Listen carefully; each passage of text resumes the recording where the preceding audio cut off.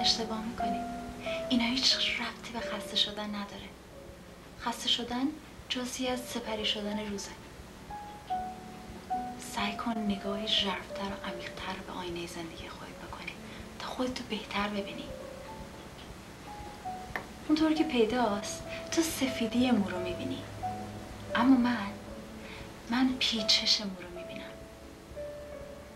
نگات باید خیلی ظریفتر و ذره از اینی باشه که هست.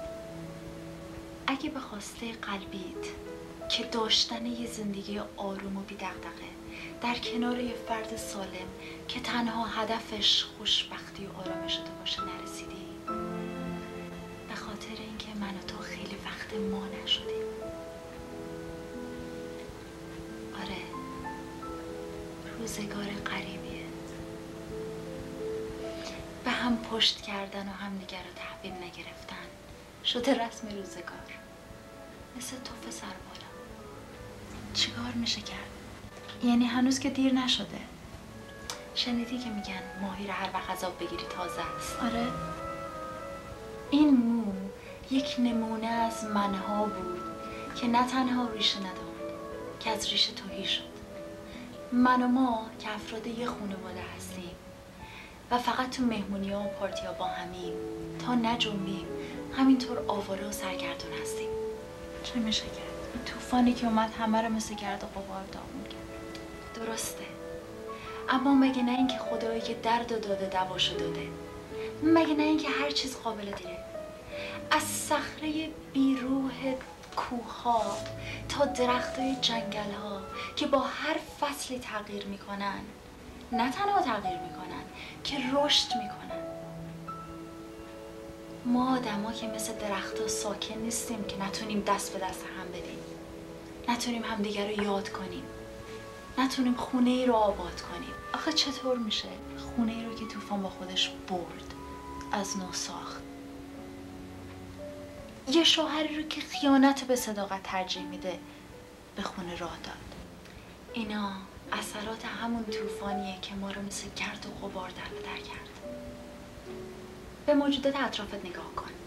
مگه نه اینکه انسان پیشرفتشون مجنون و مورچه هاییه که چندین برابر وزن خودشون رو برای معاش زندگیشون به فاصله بلندی که اسمش رو خونه گذاشتن میرسونن. اما نه. که این بار سنگین چندین بار از رو دوششون میفته ولی اونا با اون جسه کوچیکشون به خاطر هدف بزرگشون که ادامه زندگی ده روزشون باشه یکدم قافل نمیشن اما باری که ما به دوشمون می‌کشیم خیلی سنگین تر از این حرفاست بار ما بار غروره. این بار ما رو زیر خودش له می‌کنه. ما رو از نفس میندازه. اما ما از این درس خدازاری احساس خوشنودی می‌کنیم. فکرم کار نمی‌کنه. خستم. نه سب کن.